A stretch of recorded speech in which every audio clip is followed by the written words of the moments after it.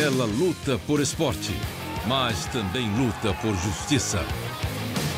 Tem que ter muita força de vontade para vestir aquela farda e ter que esconder até de vizinho. Só que Vitor nunca aceitou o estilo de vida da namorada. É isso que eu gosto de ser. E quem me quiser vai me querer assim. Ou então não me quer.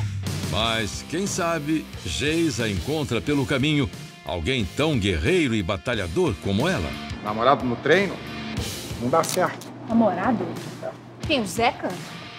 Se tem uma pessoa nesse mundo que não combina comigo, chama Zeca. Entendi.